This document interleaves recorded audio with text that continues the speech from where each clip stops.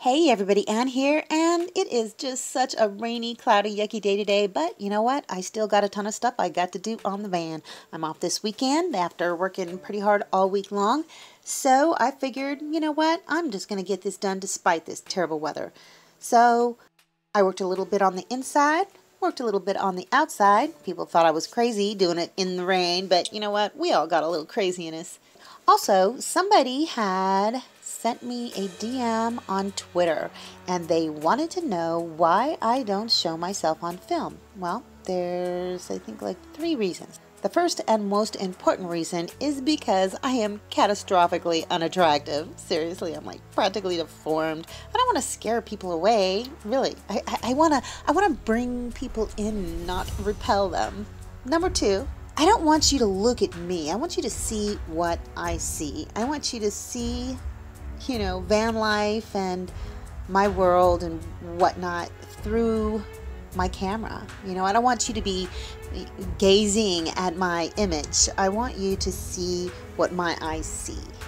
The third reason is because I have a job where it may be kind of weird, you know, for people if they knew that I lived in my van, it might make them uncomfortable. I'm not uncomfortable, but there may be some people out there who just are not entirely comfortable with that. You know, my employers might not be. Um, luckily, I have a job that's very mobile, so I mean, it's very well suited for van life, but I just think right now I'm going to keep it under wraps. Um, I don't want people to see what I look like.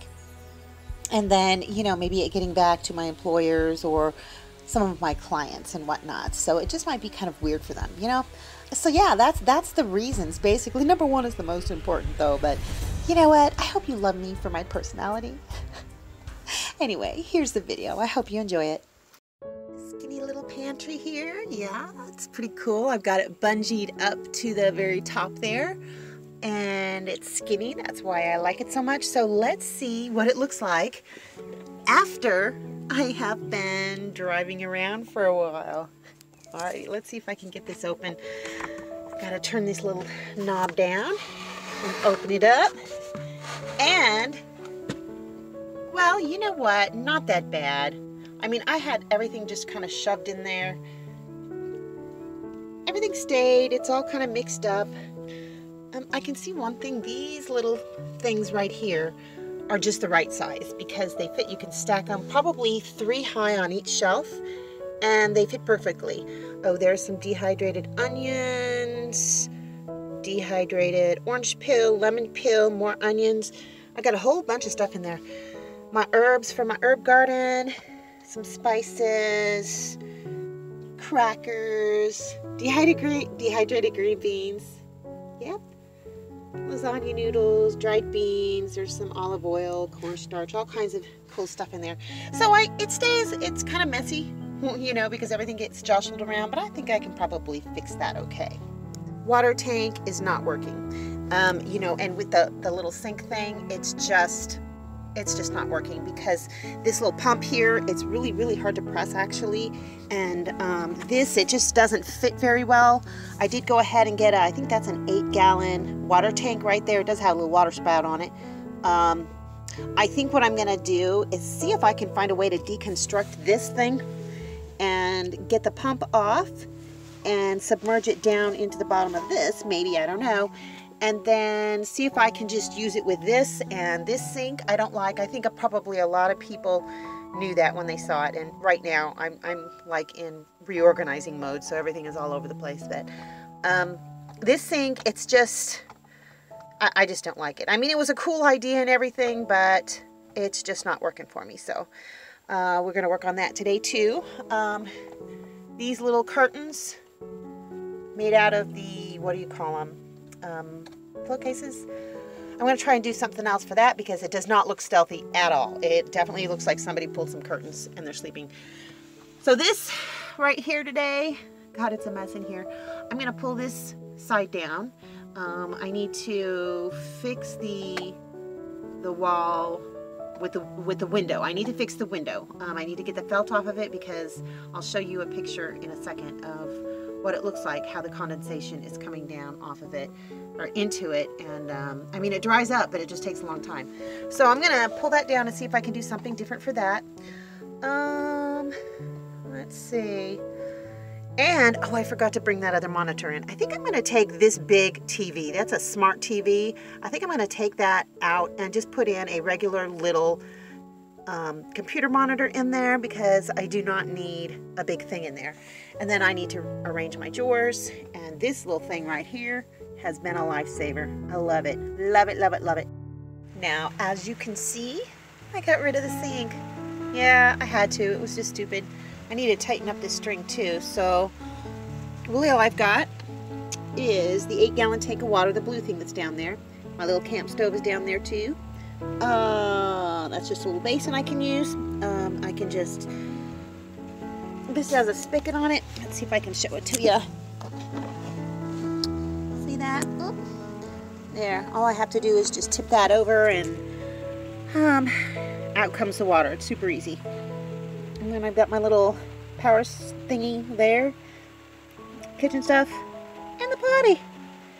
Yeah, so um, I could not separate the pump from it without totally screwing up the pump. So I don't know. I don't know what I'm going to do with this. I'll probably just get rid of it. Put it out. Put it out by the garbage and see if anybody wants it. But yeah, I like this better. I'll have to, uh, whoops There we go. Let's get that all good. I've got, got to get my granny curtains right. I need to tighten them up a little bit. Uh, so I just covered the hole with that for right now. And I'll probably put like um, a wooden drawer of some kind and just, you know, nail it down or bolt it down or screw it down, whatever. That I can put stuff in. And uh, this is still going to be where I cook. Um, I don't know, I can put stuff over there too, but I like it. Oh yeah, I got some of these push lights. My goodness, they are bright. Oh, look at look at all my little granny magnets. Aren't they cute? I love them. I love them much. you know, it looks pretty much the same, but I'm just kind of trying to get things organized. Alrighty, I'm having fun.